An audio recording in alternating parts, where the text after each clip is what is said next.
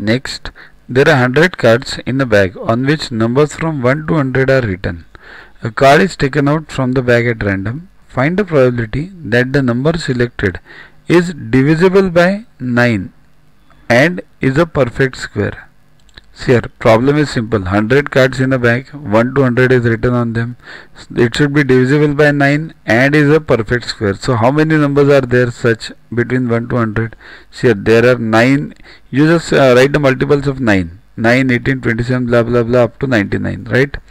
Then it should be a perfect square and divisible by 9. So 9 is a perfect square, 36 is a perfect square and 81 is a perfect square others are not a perfect square. So how many? 3 okay. So what is the probability? 3 required. Upon total is what? 100 so 3 by 100 is the answer. Next find the probability of getting 53 fridays in a leap year. Okay. In a normal year means